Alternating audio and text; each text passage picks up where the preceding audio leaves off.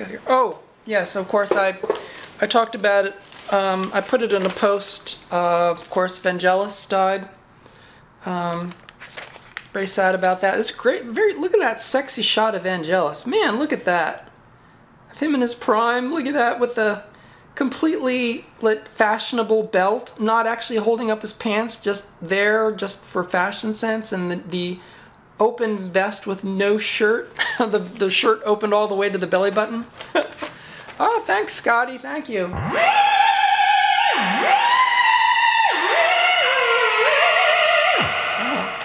Vangelis, I, I, I watched, you know, Cosmos again, watched Blade Runner again.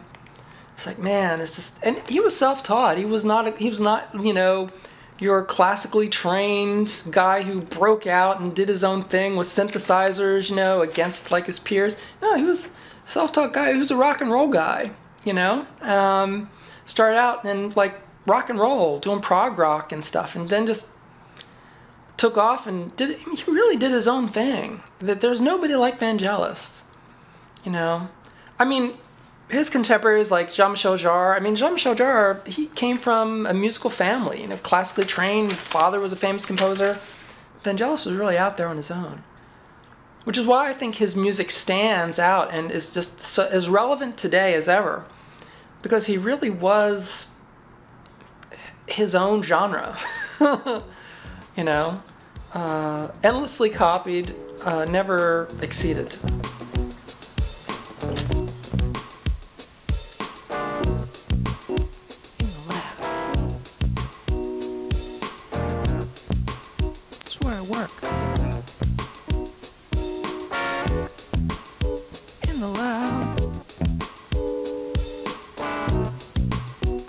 Berserk.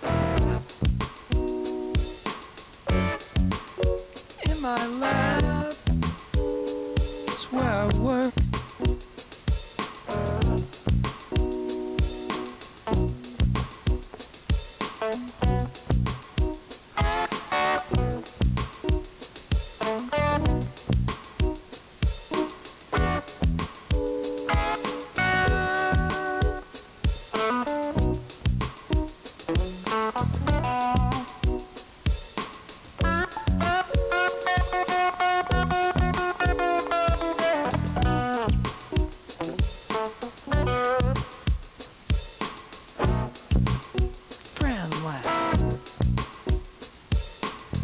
That's what you're watching.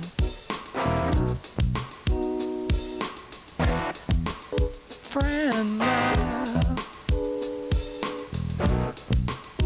It's what I'm doing. Working at the bench.